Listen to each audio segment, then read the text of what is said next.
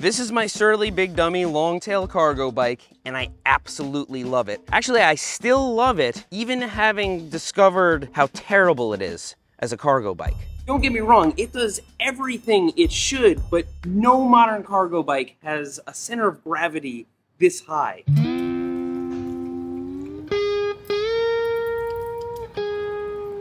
Yeah, I've seen a lot of newer, better cargo bikes here, and they're not built like this. This has a steel frame. It flexes around like a wet noodle when it's loaded down. It's pretty hard to mount this thing. It's not gonna win any beauty contests, and it has 26 inch wheels. That's actually really big for a cargo bike. A lot of cargo bikes have wheels as small as 20 inches because it brings the center of gravity closer to the ground. When a kid is sitting up here or it's loaded down with cargo, smaller wheels would really help just bring all that weight lower down and make the bike more manageable. But if I had smaller wheels in this bike, I wouldn't be able to get into as much trouble with it.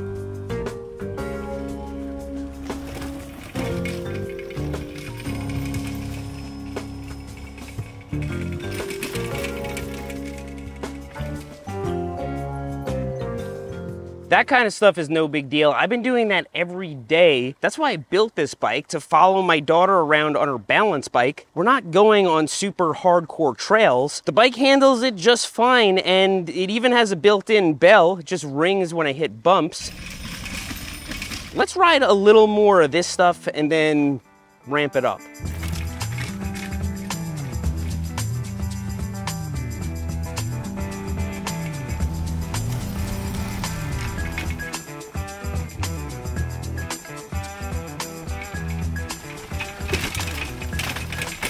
Now it is true that in addition to this being a terrible cargo bike, also a pretty bad mountain bike. You can get high centered on it pretty easy if you come up to a rock and two flat spots.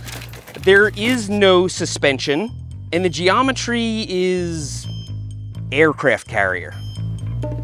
Let's ramp it up just a little bit. It's a rainbow bridge.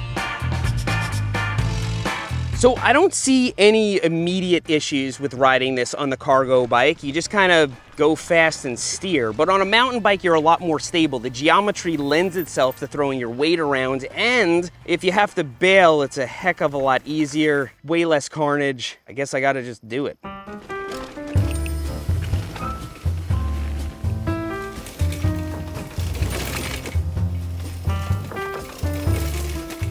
So that was interesting, but my prediction was it should just work.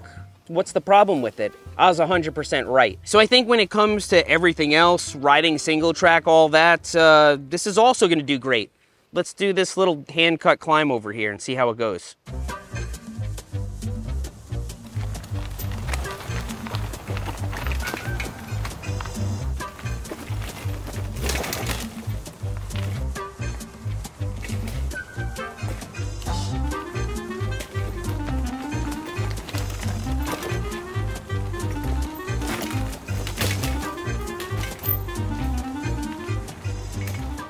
I don't think a lot of people would have made it up that on a mountain bike. I mean, I see pedal strikes all over these rocks. This thing's amazing, just as I predicted.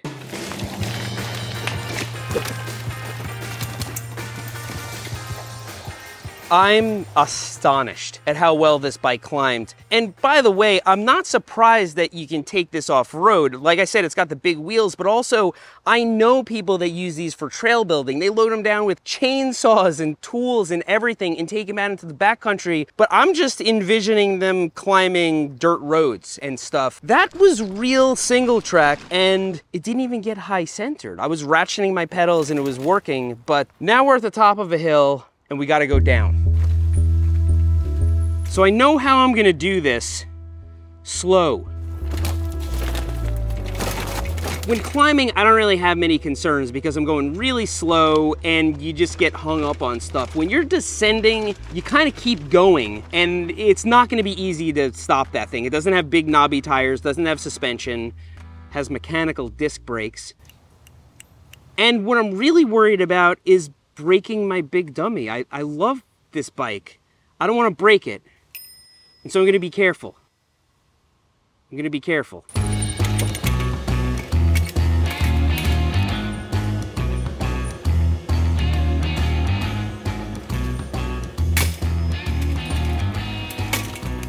All right, we ran into our first problem on the really technical stuff, the departure angle is such that my bike rack holds my daughter's bike on the back, hits into the rocks.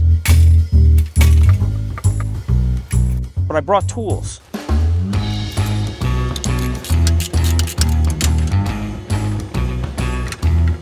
I don't want to mess up my bike rack, so I'm going to take it off and throw it in the bag, and we will continue.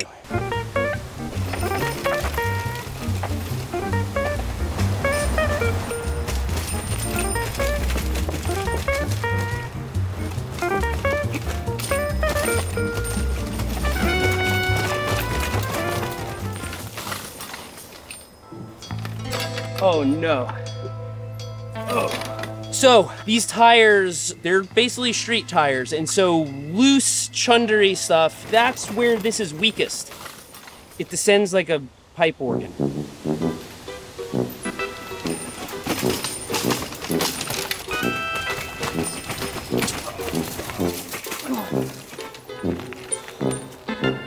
I don't care to do that anymore.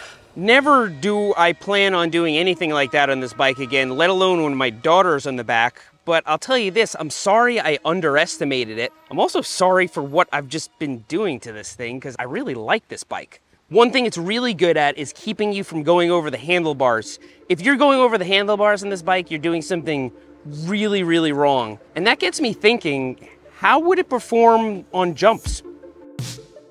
I have no idea what this thing does in the air. Does the tail just drop? Is it completely impossible to manage? Do you just wash out immediately when you land? I'm gonna try a small jump. I'm only doing it once. I'm just gonna hit this baby jump. We're gonna see what happens.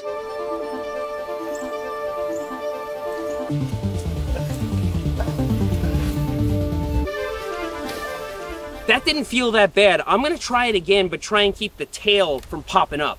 That was scary.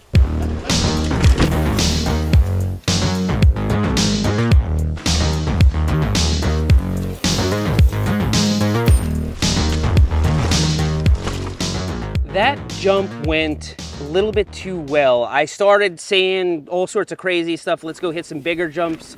But you know what? We're gonna end it here. This has all been very educational. I'm sorry I said that this was a terrible bike in the morning. Yeah, it's not a really good road going cargo bike, not compared to the modern ones, but it can do so much more.